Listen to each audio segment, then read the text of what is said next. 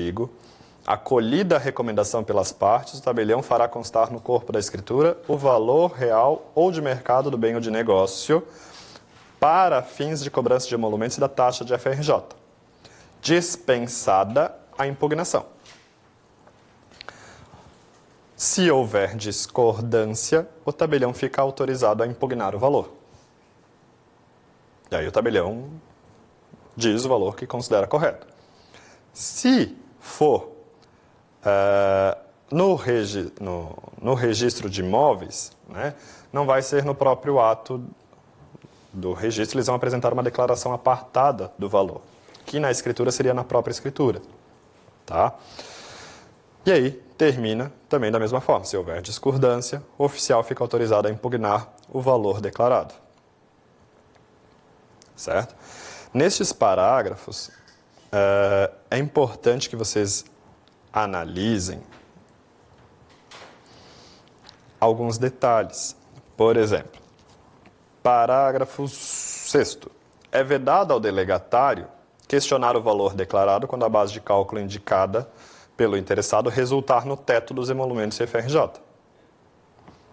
Essa é a regra. Imagine lá, ele declarou 500 mil.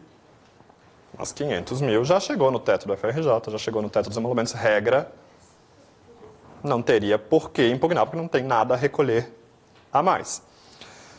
Mas o parágrafo 7 não se aplica a isso se houver flagrante discrepância entre o valor atribuído pelo poder público e o de avaliação real do bem ou do negócio. Tá? Então, ainda assim, a gente poderia impugnar, que na prática não acontece tanto. Tá?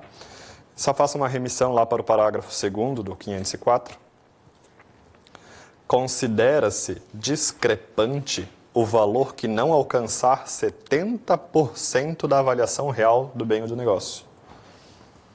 Então, se eu entendo que o imóvel vale um milhão mas ele já declarou 800 mil, está dentro da faixa da margem de erro, né? para mais ou para menos. Né? Agora, se eu entendo que vale um milhão e ele declarou 600, né? aí estaria dentro da faixa dos 70% que não, não preencheu o requisito. Então, poderia ser impugnado, sim, o valor nessas circunstâncias.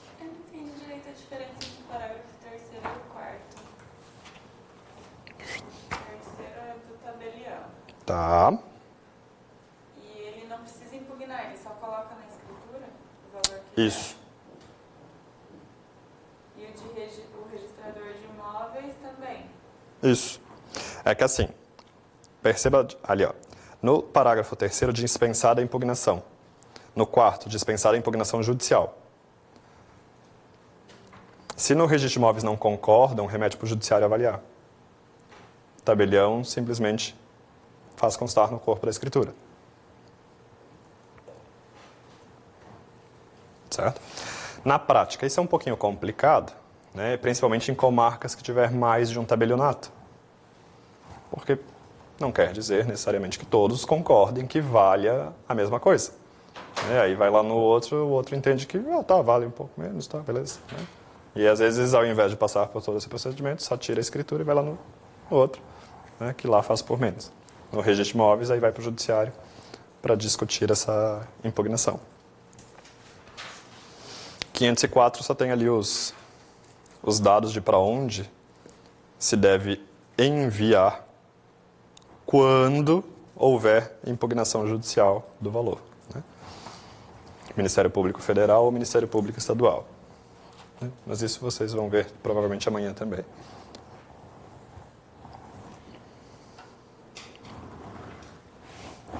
Tranquilo?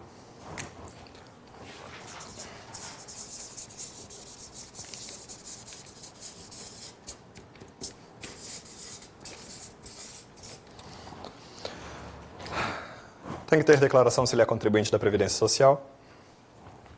Isso, de uma maneira geral, também tem em todos os estados, é lei federal, né? De que se ele contribui, aí ele tem que apresentar a negativa né, da Previdência Social.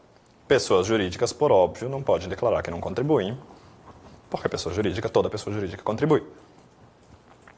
É. Então, dentre as pessoas físicas, elas têm que ter essa declaração de contribuição para a Previdência Social e, se sim, apresentar a certidão correspondente.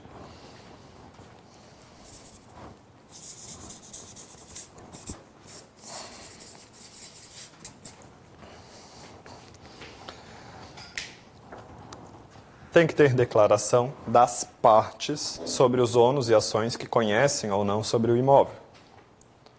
É? Isso já é requisito lá da 743, seu, seu regulamento, né? que além de apresentar as certidões do registro de imóveis, as partes têm que declarar se conhecem a existência de outros ônus ou outras ações que correm contra aquele imóvel. Certo?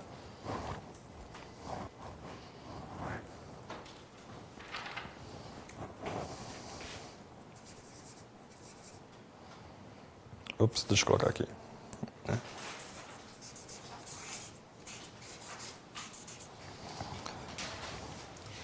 Aquela negativa do TST, aquela negativa de débitos trabalhistas, né? cuidem para não confundir. Pela recomendação, não é obrigatório apresentar a negativa do TST. Tem que constar a recomendação de que as partes estão cientes de que se pode tirar essa negativa. Pode ser que na prática você tire, né? Mas pela recomendação é que você conste que as partes estão cientes da possibilidade de se retirar essa negativa e não propriamente retirá-la.